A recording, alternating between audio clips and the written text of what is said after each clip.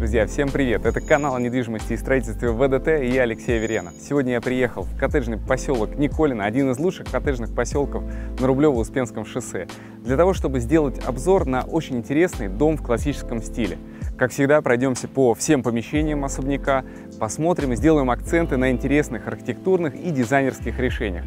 Я уверен, что этот продукт очень качественный и сделанный специально для такой консервативной целевой аудитории. Если вам это интересно, то досмотрите до конца. Поехали! Этот дом 869 квадратных метров. Пространство большое, воздушное. Столовая зона, 10 посадочных мест, свой собственный бассейн, спальный уровень, общественный. Получилась здесь очень классная логистика.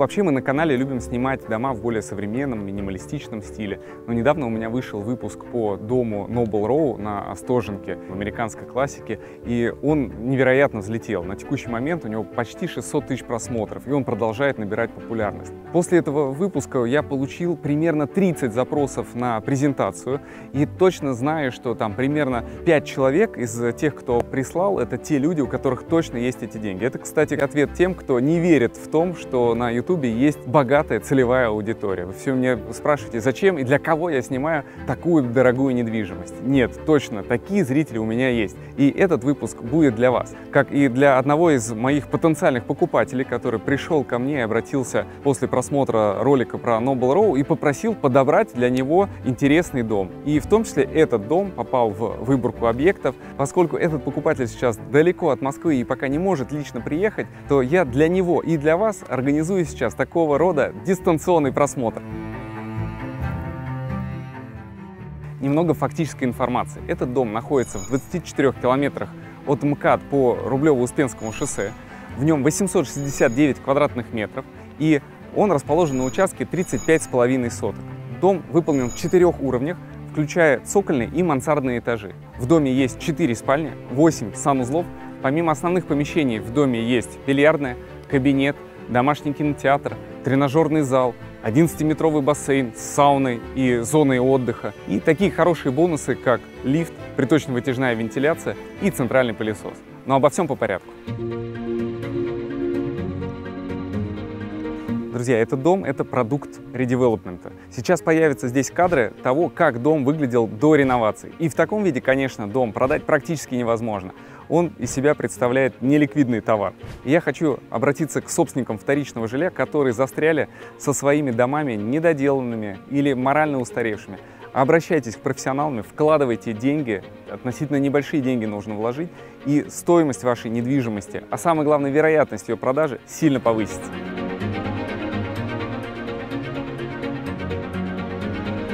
Этот дом построен по особой технологии, которая называется Blue Max. Это несъемная опалубка из утеплителя, которая дальше армируется и заливается бетоном. То есть, по сути, это полностью монолитный дом, который из себя представляет некий термос. В нем очень тепло зимой и прохладно летом. Многие обыватели говорят о том, что дом должен дышать. Друзья, дышать дом должен, но через систему приточно-вытяжной вентиляции, которая в этом доме есть. А вот если дом будет дышать через стены, то этот дом плохой, он будет очень холодным. Немного об архитектуре этого дома. Дом выполнен в классическом стиле, в спокойной цветовой гамме и украшен множеством архитектурных элементов. Это колонны с капителями ионического ордера, а также множество карнизов, балюстрад, капителей и фризов. Немного о колоннах. Они есть не только снаружи, но и внутри. И чтобы к этому потом не возвращаться, воспользуемся магией монтажа, и я проведу небольшой архитектурный ликбез. Со времен Древней Греции в архитектуре использовали три типа ордеров колонн.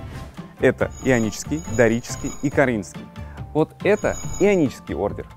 А такой дорический. Еще раз. Ионический ордер, дорический. Запомнили? Не перепутайте. А здесь еще в перебивочке покажу, как выглядит коринфский для наглядности.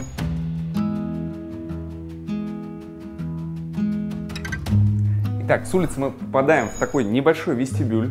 По правую руку у нас гардеробная комната. Она достаточно компактная, но очень вместительная. Раз, два, три, четыре шкафа, еще такая секция. Посмотрите, сколько еще наверху тоже отделов для хранения. Сделал наблюдение недавно, что множество домов, которые сделаны именно в классическом стиле и четко в этом классическом стиле выдержаны, делаются с отдельно стоящим гаражом. я подумал, что действительно классическая архитектура пришла к нам еще из далеких-далеких времен, там сотни лет назад строили такие дома. Естественно, тогда машин никаких не было. И поэтому сделать архитектуру с пристроенным гаражом, это уже, конечно, отход от классической такой архитектуры. Итак, мы попали в гостиную комнату. Она выполнена достаточно в таких светлых и очень нейтральных тонах цветовой гаммы. При этом есть такие акценты в виде мебели. Это очень классный подход с точки зрения того, что ну не нравится вам синий цвет, поменяли мебель. При этом будет продолжать гармонично смотреться. Вообще этот дом от застройщика такого же точного девелопера, как мы. Я обожаю вообще дома от застройщиков, потому что здесь виден подход к деталям, к обустройству, к декору, к тому, как подбирается мебель, насколько здесь глубоко сделан и продуман homestaging. Все здесь лежит на своих местах. К сожалению, при вторичной продаже, когда эта продажа идет от собственников, такого результата ну, практически очень редко когда можно достичь. Рецепт очень простой. Если хотите успешно продать свой дом, выезжайте из дома полностью полностью, нельзя в нем жить, когда он продается. Делайте с профессионалами homestaging, делайте так, чтобы все было зачищено, все было вылизано, да, чтобы ни одной не было соринки, мытые окна. И самое главное, чтобы дом всегда был готов к показам, чтобы новый покупатель ощутил себя именно хозяином этого дома, взял с собой тапочки и начал уже его обживать после сделки и получения ключей от этого дома. Это пространство гостиной, оно немножко утоплено. Здесь есть небольшие ступеньки, это дает нам еще больше высоты высоты потолков здесь, наверное, больше, чем 3,8, наверное, метров, ближе к 4 метрам высота потолков. Измерять сегодня не буду, и так понятно, что пространство очень большое, воздушное. Здесь не совсем панорамные окна, но их много, света достаточно много. И тоже одна из тенденций, отказ от телевизоров. Здесь, тем не менее, телевизор предполагается, что можно поставить вот на эту тумбу. Есть и электричество, и интернет, то есть можно будет телевизор подключить. Еще хочу затронуть вопрос функциональности планировки современного дома. Я считаю, что это один из самых приоритетных моментов при планировании дома, который очень сильно влияет на его ликвидность. В конкретно данном примере здесь 869 квадратных метров. Это относительно того функционала, который здесь застройщику удалось вместить, небольшая на самом деле площадь. Часто бывает так, что та же самая площадь с бассейном, со всеми там бильярдными, тренажерными залами, комнатами для обслуживающего персонала и так далее, и так далее, все то, что здесь есть, размазывается на площадь 1000-1200 квадратных метров. Здесь же удалось это сделать очень компактно, и это очень здорово с точки зрения логистики, то есть перемещение гораздо меньше. Да, есть вот эта многоуровневость в виде четырех уровней, включая цоколь и мансарду, но опять же есть спальный уровень, есть уровень общественный, где гостиная и бассейн. Получилась здесь очень классная логистика. И покупателям я бы тоже рекомендовал обращать внимание на планировку. Перед выездом на объект для его просмотра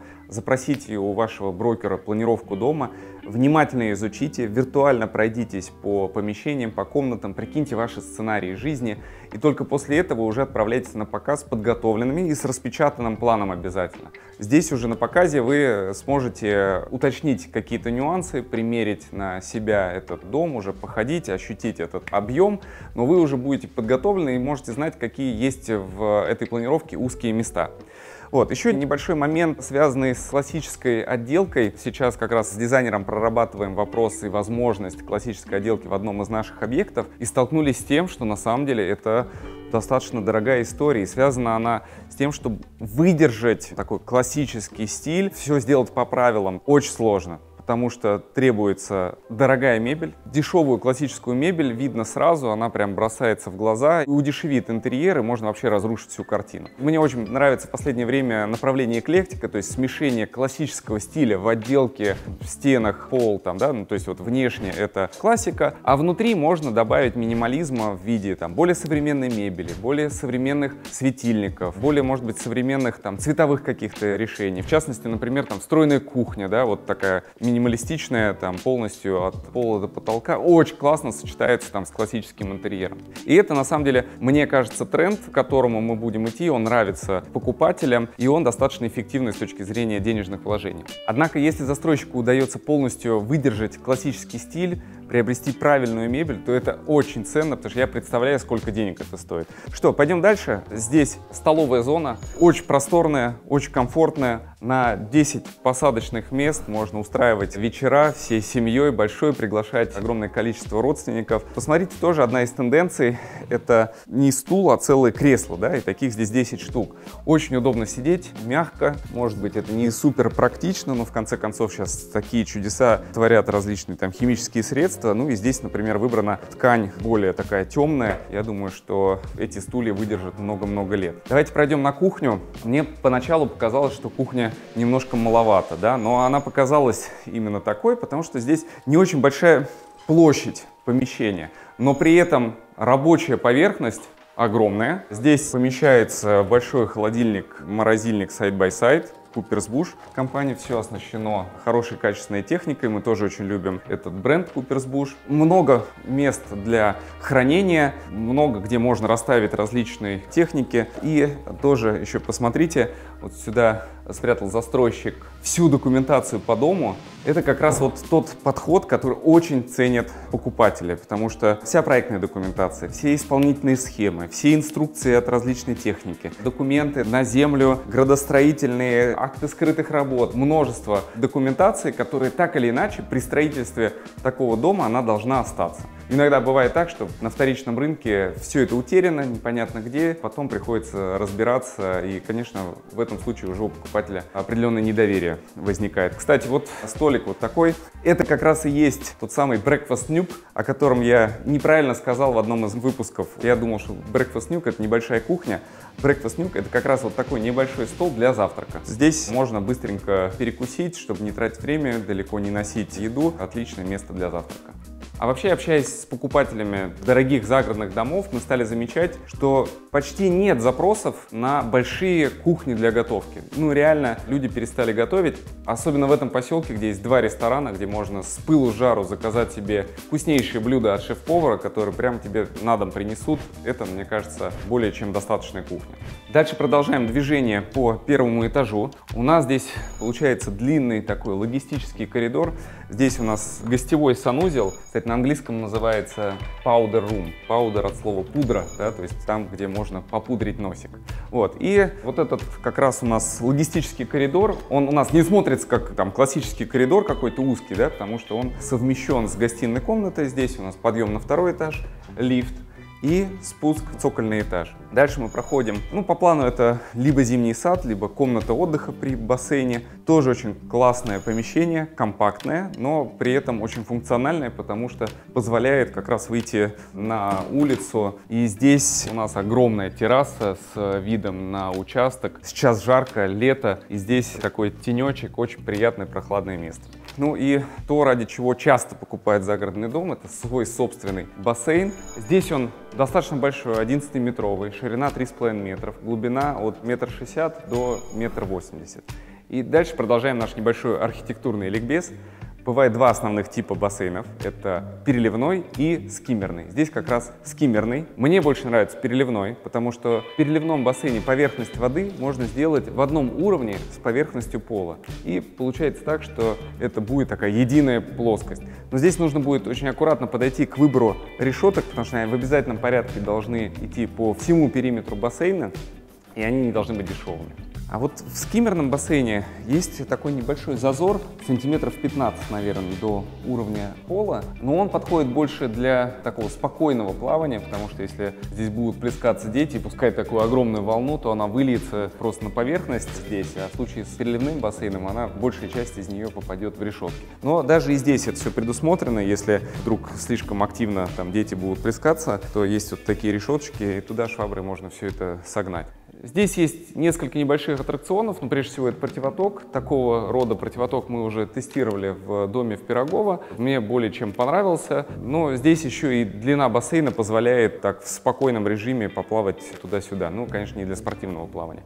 Ну и тоже посмотрите, сколько окон, очень много света с этой стороны, там больше такая затененная часть. Ну и представьте, как здорово здесь будет вечером, когда через эти окна будет э, звездное небо. Класс вообще, мне очень нравится. Ну и посмотрите, какое интересное решение по стенам. Тропическое настроение, как будто мы оказались где-то в южных странах, на каком-нибудь Бали или в Африке. Ну, бассейн чаще всего все-таки для детей, и мне кажется, здесь это все очень детское настроение такое передает. Здесь небольшой спа-комплекс, маленькая сауна, туалет, душевая кабина. Все очень компактное, но при этом функционально. Так, идем дальше.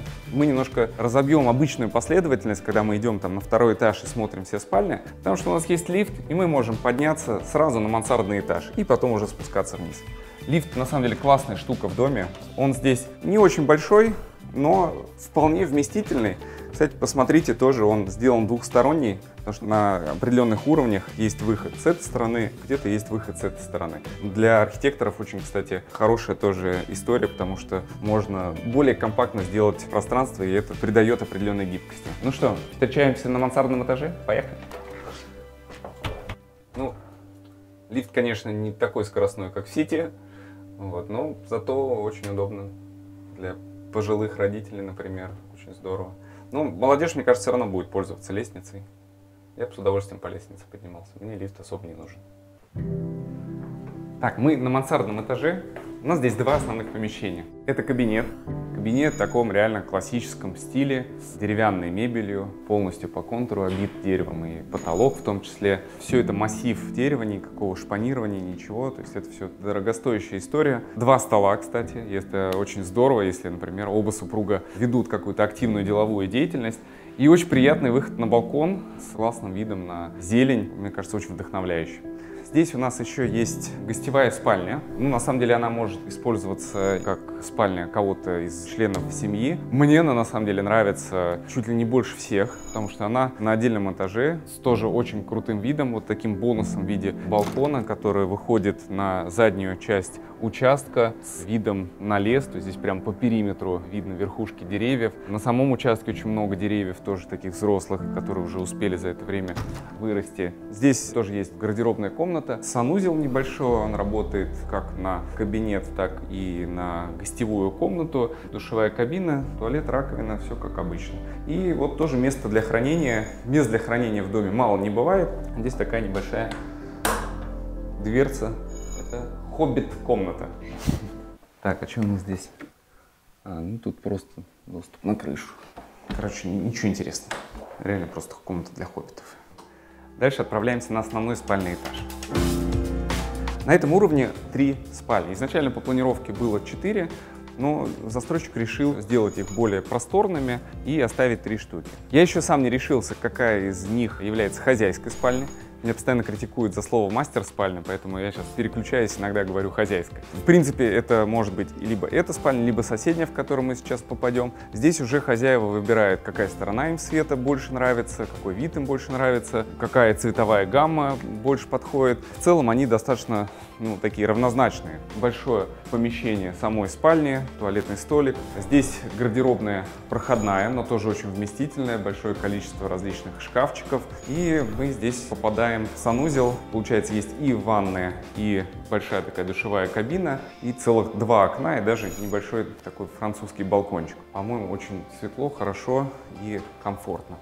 Пойдемте в следующую спальню. Кстати, интересно, здесь у нас нет никаких серьезных систем автоматизации или там систем умного света. Зато все очень хорошо продумано с точки зрения расположения там выключателей. Все удобно выключать. Я сам походил, попробовал везде. У меня был один клиент в свое время, которому показывали дом, в котором тоже не было никаких систем автоматизации. Я сказал ему, слушай, ну здесь вот никаких систем там умного света нет. И он говорит, так что здесь, значит, глупый свет, что ли? Это, говорит, то, что как раз мне нужно. Не нужны мне никакие какие там вот эти все навороченные приблуды. На самом деле мы сейчас в последнее время видим, как пошла тенденция на автоматизацию, на умные дома, но мы забываем про то, что есть большая часть консервативной аудитории, которой все эти примочки не особо нужны. Поэтому здесь хорошо продуманный, но глупый свет. Кстати, везде выдержана стилистика, стоят кораллы, изображения кораллов, то есть такая какая-то немножко морская тематика. Все-таки какая-то есть задумка и концепция в этом. Следующая спальня, небольшой холл. Здесь получается отдельная гардеробная, Мне кажется, что она больше мужская. Кстати, заметил, что в некоторых семьях, особенно где уже пара в возрасте, там, скажем, 50-60 лет, иногда предпочитают они все-таки ночевать в отдельных комнатах. И вот этот дом очень хорошо подходит, потому что эта комната может быть мужской, Та комната может быть женская, иногда могут супруги спать вместе, ну, когда надоедят друг другу, могут в два разных крыла переместиться. Здесь санузел только с душевой кабиной, здесь нет ванны, поэтому я и говорю, что эта комната больше, скорее, мужская, да. Ну и окно в ванной комнате тоже здесь есть. Это в последнее время стало чуть ли не нормой абсолютной. И вот тоже отличительная особенность домов от застройщиков, когда ну, почти полностью идет вся меблировка, она достаточно продуманная, и ты совершенно по-другому уже воспринимаешь пространство. Но представьте, что нет здесь ни ковра, ни кресел, ни этого столика, пустое место, которое непонятно как использовать. Здесь все сразу становится ясно. Кстати, тоже люблю вот такие банкетки. Никогда не использовал, а в свою новую квартиру уговорил жену, что такую банкетку взять, и удобно здесь на ней одеваться, и какую-то одежду сложить.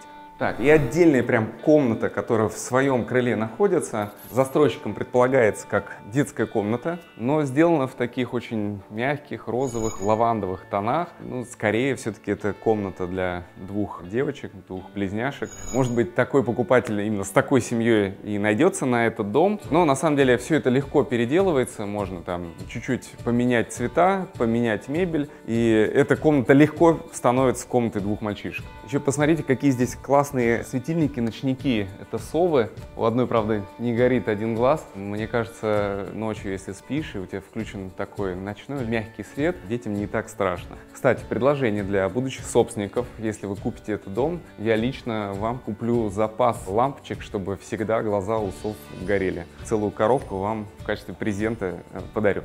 Вот, ну и тоже здесь гардеробная комната, чуть меньше, чем как бы в тех спальнях, ну, вполне достаточно, у детей не так много вещей на самом деле. И просторный санузел с большой душевой кабиной. Здесь она сделана не вровень в пол. Тоже некоторые из консервативной нашей целевой аудитории, более взрослые, предпочитают, чтобы был такой вот бордюр, чтобы уж ничего не протекло. Ну, сделают они один шаг, ничего страшного, говорят. У нас остался последний цокольный этаж. В него мы попадем по лестнице, хотя можно тоже на лифте спуститься. Лестница полностью из мрамора. Она, кстати, не большая, не широкая, но тем не менее здесь легко разойдутся два человека. Поделитесь, пожалуйста, своим мнением в комментариях, какие лестницы вам больше нравятся. Такие большие, парадные, там, с громоздкими перилами или такие функциональные и компактные. Друзья, мое отношение к цокольным этажам вы уже, в принципе, знаете. Но здесь мне очень даже нравится. Тут хорошо зонированное пространство, есть очень много хороших помещений. Это помещение такого свободного назначения, но мы здесь видим все, что связано там с бильярдом, можно шары расставить, кии, то здесь можно расставить бильярдный стол, но его сюда не покупали, потому что у большинства загородных жителей эти столы стоят накрытыми и почти ими не пользуются. Раньше такое развлечение было, а что-то в последнее время как-то уходит из моды. И здесь у нас домашний кинотеатр, ну не в классическом понимании там домашнего кинотеатра, хотя здесь тоже можно сделать и большой экран, ну или поставить в конце концов достаточно большой телевизор сюда. Домашним кинотеатром кинотеатров как раз окна не нужны, а вот для того, чтобы тусоваться как бы в бильярдной комнате, наверное, лучше, чтобы э, все-таки такое помещение было с окнами. Здесь есть санузел для этого этажа, и вот это помещение, оно уже с окнами. Оно здесь по плану предполагается как тренажерный зал, у нее есть своя душевая кабина, но в принципе его можно переделать под все что угодно. Бар, пожалуйста, рядом с винным погребом. Я очень много смотрю обзоров американских домов, точных девелоперов таких, вот, и они там меряются количеством бутылок, которые помещаются у них в винные погреба. Более того, они даже делают винные погреба не совсем вот в цокольных этажах, а часто они являются интерьерными решениями, закрытые стеклами, по центру там гостиной комнаты, множество бутылок. Давайте посчитаем, сколько здесь у нас может поместиться бутылок. Как вы думаете, за сколько я это сделал? Давайте засечем. Короче, я уже сбился, больше 100 точно насчитал. Я думаю, что с учетом вот этих всех полок, на которые поместится с десяток бутылок, здесь штук 300 бутылок точно есть. Мне кажется, не у каждого хозяина вообще, в принципе, такая коллекция вина может быть. И мне нравится этот дом с точки зрения того, что в нем достаточно много различных вот подсобных помещений. Вот здесь для хранения Вот туда можно тоже много всего разложить. Здесь помещение с окном, поэтому его можно использовать как э, помещение еще одно к тому помещению, которое уже есть над гаражом для обслуживающего персонала. Они как раз по логистике могут попадать с внешней стороны, минуя главный вход через котельную. Здесь есть все удобства, туалет, раковина, душевая кабина, можно поставить небольшую кухоньку, поставить кровати и вполне комфортно проживать на своем рабочем месте. Здесь тоже еще помещение, хранилище, что-то может чемоданы сложить. Достаточно просторная постирочная комната. Жалко, что здесь нет пилипровода, но понятно, что в классическом доме это уже гораздо сложнее сделать.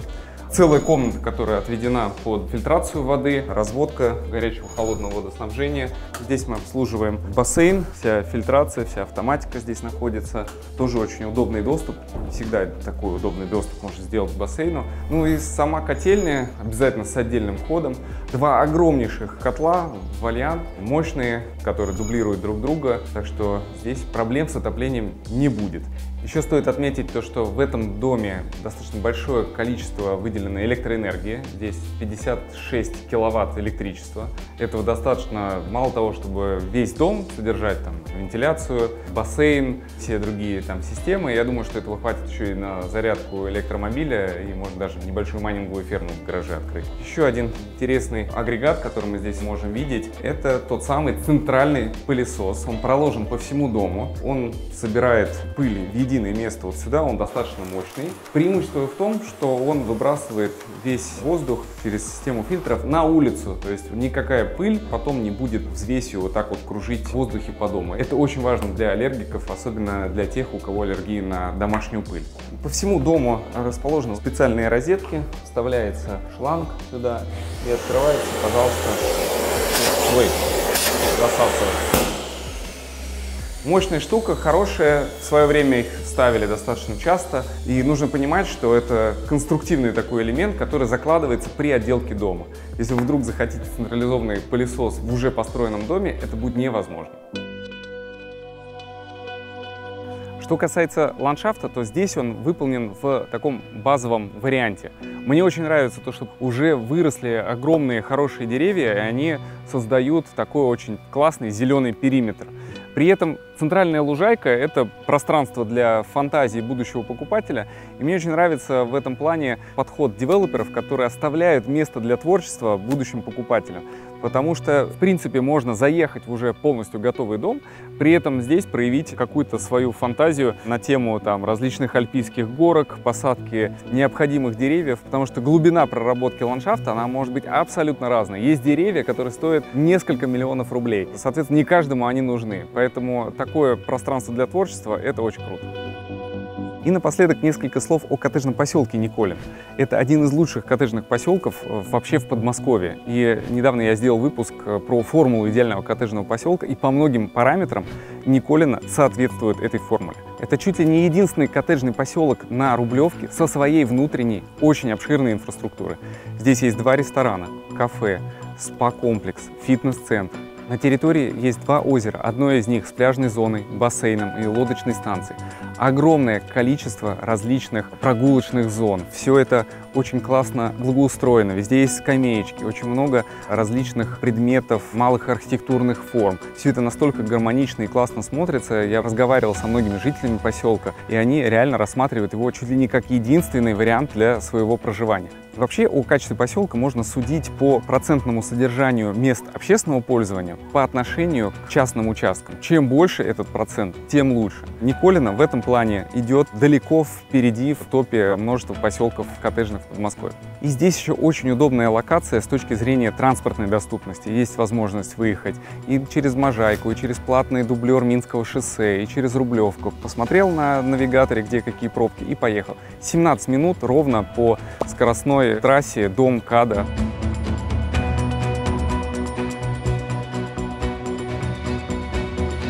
Друзья, спасибо, что досмотрели этот выпуск до конца. Обязательно делитесь своими мнениями в комментариях. И помните, что я на любые вопросы в комментариях отвечаю, мониторю их буквально в режиме реального времени. А еще у нас есть множество других площадок. Это Instagram, Telegram, Facebook. Все ссылки на них будут в описании. Заходите, там есть гораздо больше контента, чем то, что вы видите на YouTube.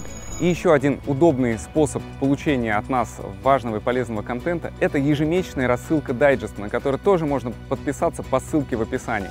Там приходят все инфоповоды, которые генерятся нами в течение месяца на всех площадках.